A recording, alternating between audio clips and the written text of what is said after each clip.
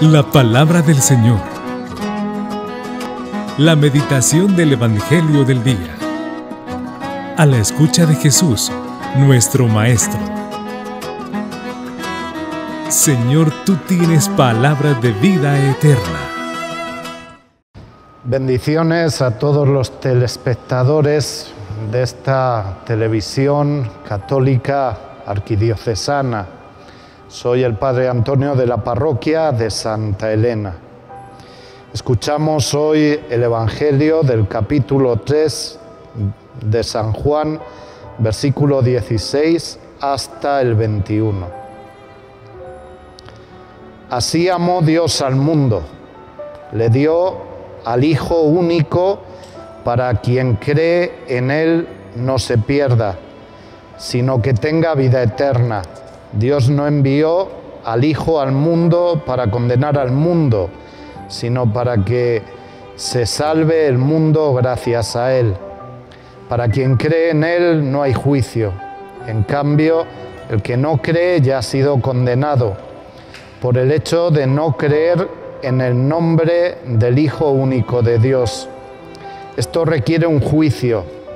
La luz vino al mundo y los hombres prefirieron las tinieblas a la luz porque sus obras eran malas, pues el que obra el mal odia la luz y no va a la luz, no sea que sus obras malas sean descubiertas y condenadas, pero el que hace la verdad va a la luz para que se vea que sus obras han sido hechas en Dios.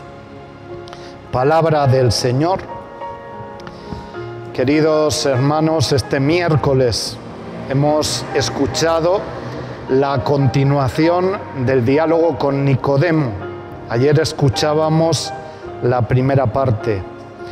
En este diálogo Cristo le habla a Nicodemo de una verdad esencial de la fe católica y es que toda nuestra vida no es solo una decisión que nosotros tomamos, es algo más, es un diálogo. Sabemos que el que ha tomado la iniciativa, el que ha querido dar el primer paso ha sido Cristo.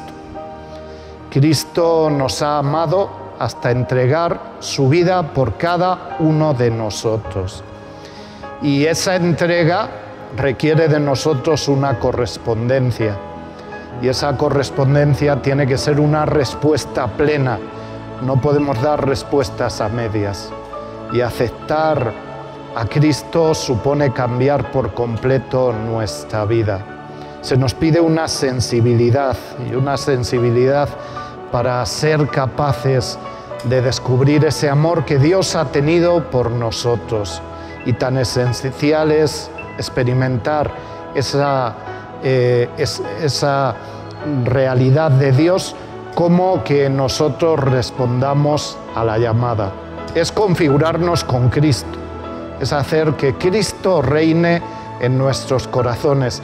Y para eso sabemos que hay dos ejercicios fundamentales que tenemos que hacer como cristianos. Un primer ejercicio es la oración, tenemos que vivir en una relación permanente con Cristo.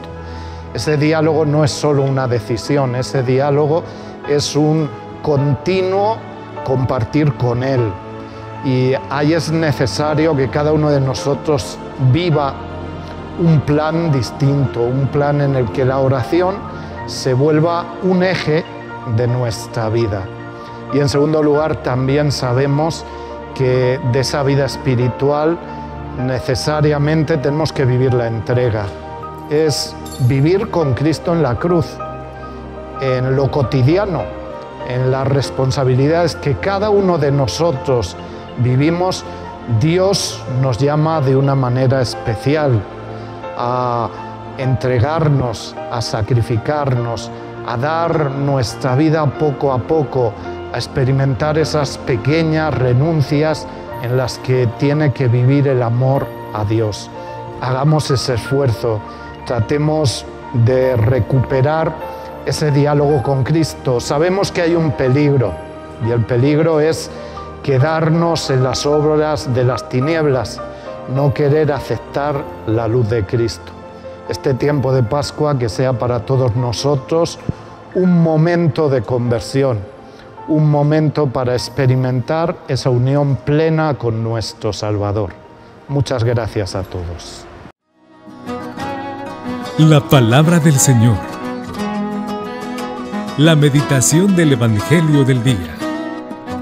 A la escucha de Jesús, nuestro Maestro. Señor, tú tienes palabra de vida eterna.